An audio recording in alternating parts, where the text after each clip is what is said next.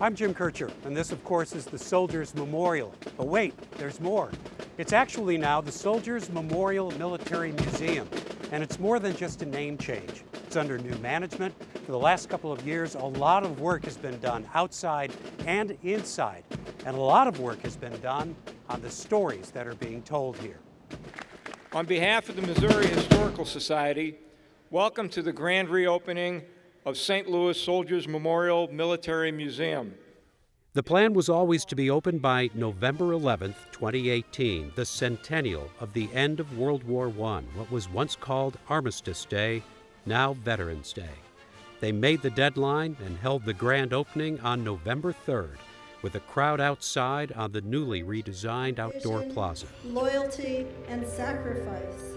And you will see each of those values reflected in the Soldiers Memorial was originally built by the city to honor those St. Louisans who died in World War I, but it would take years to get it done.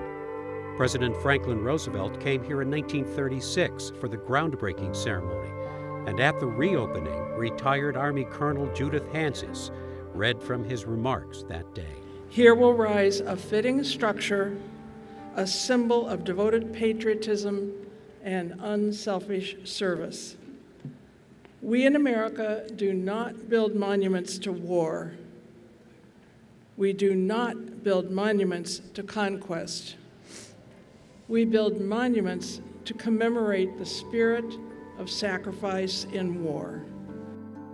When the Soldiers Memorial opened in 1938, the world was on the verge of a second world war, and soon there would be more names added to the list of the fallen. More artifacts would be displayed in the cases, but as the years went on, it was clear the building and the displays were showing their age and needed a lot of work. The Missouri Historical Society agreed to take on the task and spent $30 million over more than two years to renovate the building and the grounds and the stories that needed to be told. Yeah, I'd, I'd forgotten.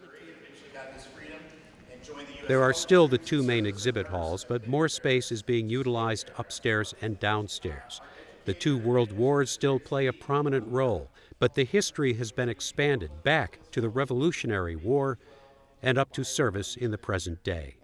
There are now interactive features, and there are a lot more faces. You'll find stories throughout where individuals are being used as examples.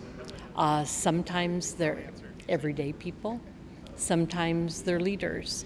But we wanted to use the individual serviceman or woman to make these um, stories real.